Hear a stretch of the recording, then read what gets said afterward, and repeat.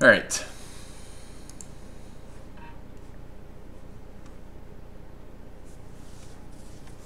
It is nice that the game is right here.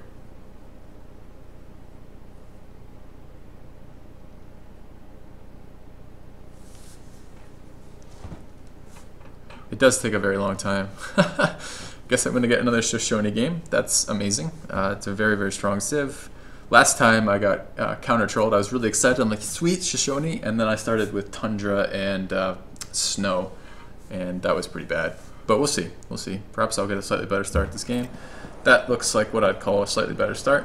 Um, I'm coastal with tons of unique luxury, uh, tons of luxury resources around, and um, some good spots here. Um, I need to have a look over here. I'm thinking this is going to be the tile I'm going to go to. Um, I'm just going to have a little bit of a look around here to see what I can see. Um, I have a fish over there. That tile looks even better to me now. I'm going to take the gold here. Um, I'm not on coast. Oh man, should I move away from the coast? This is Pangea. I could take this gold here too. It would be fairly nice. Still in range of this unique luxury. Moves away from this one lose that. I lose uh, coastal trade routes, but um, I do gain river for that. I don't know. I think I'm going to stick coastal for now. So let's move there. Um, fairly nice start. If I can uh, do something with this. Settling on gold is really great. You get the gold, uh, you get the, not only do you get the luxury gold, but you also get the gold per turn from that tile for the entirety that you're settled on it for. So that would be good. Um, Shoshone have a ridiculous um, special too. It should grab uh, a lot of nice squares. Um, and then I'll pick up a ruin next turn. If I'm lucky, it'll be culture. Oh, I didn't check. I got so excited with Shoshone. There's probably friggin' uh... Okay, Babylon's in here. Scary Civ. Uh, Songhai is very good and very underrated. Uh, China is quite good. They're very dangerous war Civ. Siam, again, is another underrated Civ that does quite well if you know how to play them. And Iroquois are relatively shit. So, um, Babylon is one of the god tier Civs. This one, these three are probably decent civs, with China having a slight advantage, and Shoshone is probably god tier as well. So, uh, good start, good civ. Looks like the game's gonna go. Now we just have to hope Alakazam settles. Well, he already settled, so he's not going to lose his uh, settler this game, so that's a plus. Um, I'll drop this expand, or this, excuse me, this settlement, and then I'll take the ruin. Oh, I can pick two. Uh, another ruin up here. I'm going to grab culture. Um, this is going to give me a big uh, culture, yeah. I am going to take culture to start with. Um, that will give me two turns away, and I'll be able to pick up uh, my first um, social policy, which will be a really quick thing towards getting uh, my free uh, monument. So that'll be good. And I'll grab pottery.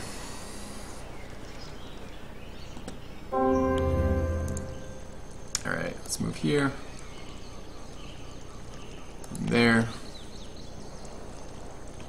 That's fine. Um, as Shoshone, I'm going to probably pump out three Pathfinders uh, and uh, go from there. Uh, I'd prefer not to work elephants, actually. Um, I prefer the one production over the two gold for now. The production seems a little more useful for me. And I should lock this down to grow to production. It's the same amount of growth per turn, but uh, a little bit better production. Um, I can grab uh, tradition now, so let's do that. And let's take this ruin here. And I'm actually going to grab uh, the military upgrade. The population one's really good, but I don't really want to do it at one pop. I'd like to do it at two pop. So let's take um, the weapon upgrade. So I now have a composite bow to start with. If I can find a city-state, I can demand tribute. So that's pretty lucky. Um, doesn't look like I have great uh, coastal resources, just the one. It may have been a mistake to stay coastal, but we'll see how the rest of the map turns out. Um, there is an internal cooldown on the Shoshone ability. Like you cannot pick the same um, free upgrade over and over again. Um, I have the question asked, why is Coastal Trade Network better than non-coastal? Because you get two times everything from it. Um, two times the gold for coastal trade routes, uh, two times the food. Uh, yeah, I say that. Yes, it's six food versus I think three or four for the land-based caravans. So it's a better way to grow uh, overall, and a better way to make money if you're doing trading. Um, the downside is you're vulnerable to things like frigates. Uh, I sound tired. I don't know why I sound tired. Probably because I haven't had a beer yet. So uh, I may fix that shortly. Alright, let's have a look around. Had a long week too. All right, so here's a city-state. I should have quite an advantage for asking for tribute, nah, but of course I don't. I'm third in soldiers, despite having composite bow. That really confuses me. Um, we'll see in a minute what I can do. I'm really surprised I can't get tribute out of that with the composite bow already. Really surprised. Uh, we'll try again next turn. My global army score will probably be first next, next turn, so that might make a difference. Um, had a long week too, but uh, I'm not sure that's relevant or not. And I'm going to produce uh, yet another Pathfinder after this. It's just too, the ability to pick your upgrades is just too strong. So I want to get those out early. Um, I should now have first an army, but I don't. Um, so someone else is producing army too. Uh, let's head north with this guy, I think. Um, walk my tile down. I want to continue growing, so I'll take the food off of the other quarry. I'll ask, see if I can ask for tribute. still not going to let me. Really surprising. And let's head over this way. Okay, more coast.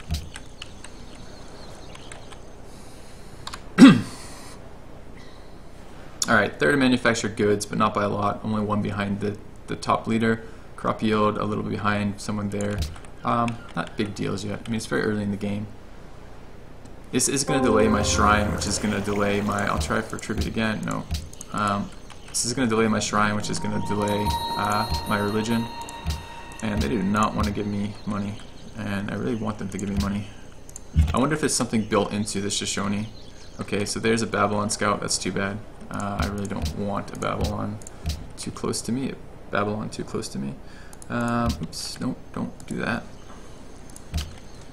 And we'll go from here. Hopefully this land will be a little bit of land down here. I don't like how close Babylon was. That scares me. It probably means I don't have a ton of land. And I want to expand coastally, which means I need land. Um, let's move up here. I'll take my free culture monument rather. Okay, Babylon's ahead of me over here, which is really annoying. Um, let's move through Panama and be done. I'm freaking first in soldiers now. People losing soldiers? Like, how does this work? Like, how is my soldiers bouncing around so much? And why can't I demand tribute with a composite bow here? Tribute mechanic is so stupid in this game. No one knows how. It, no one really knows how it works. Everyone knows it's based on army size, proximity, and um, that's about it. Your total army size and proximity, and the type of units you have near their borders, basically. But no one can tell you the specifics about it. And right now I'm first in army. It's really early in the game. Panama City has nothing, and I should be able to take that. I don't know why I can't. So let's move here. Let's move there before. Can I move there first too? Yes. Okay, so we're running out of land over here. Ah, that's too bad. Um, Alright. Shrine after this. I can now demand tribute. No one understands what's changed. The same guy's there. But now I can demand tribute. So that's good at least.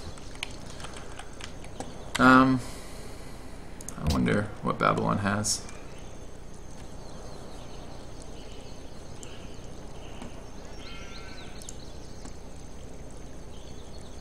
It's possible there's a ruin there, so I want to move this guy first. And then I want to scout west.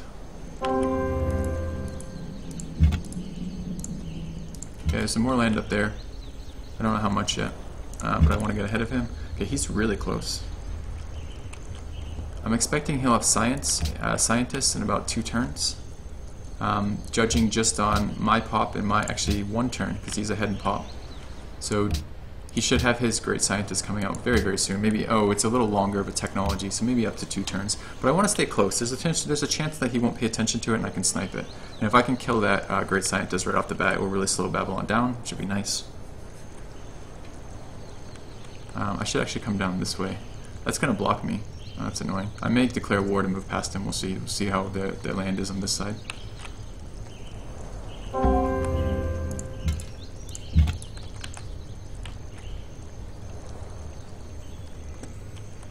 Okay, a little more land up here. I'm hoping for an ancient ruin at the end.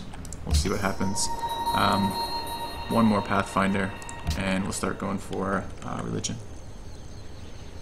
I don't think city-states actually have gold in the sense that you mean lemons. I don't think there's ever a there's ever a point where uh, I mean, that would be an interesting variable that might be there. I suppose it could be possible that city-states have a set amount of gold and they can't give you gold when they don't have it, but I've never heard of that being a reality. Um, all right. This is going to be a nightmare to push later. I mean, look at this, this mountain range. I need to be able to like get units there beforehand. Um, let's move in here. Okay, nice. One more ancient ruin in there. Um, I'm to move to here. I just want sight of his city, get some idea of the layout. I do have horses, and they are grassland horses, which are my favorite horses. And actually, two sets of grassland horses because I can grow off that tile as well as working production. Um, I did finish that. Let's go grab archery and move this guy out a little bit more. See if I'm in range to ask for tribute, but I don't think I will be.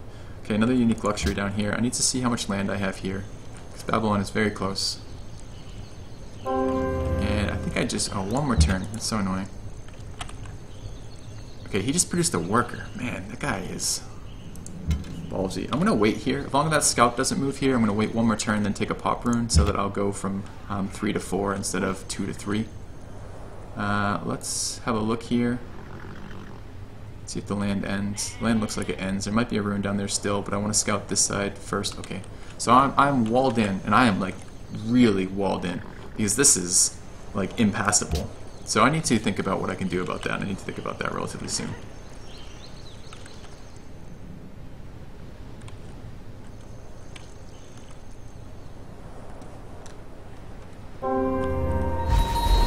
Alright, I just grew. I'm going to grow again right now.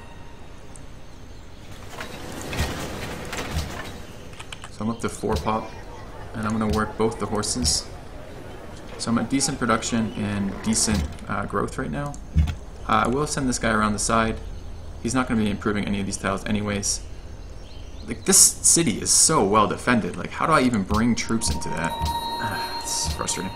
Let's move up here just in case there's an ancient ruin back here. There's not. I'll check down here. I have basically no land down here. I have a good expand, but just basically one, maybe two. Uh, there's no nothing in there. Something over here. Um, starting location is weird.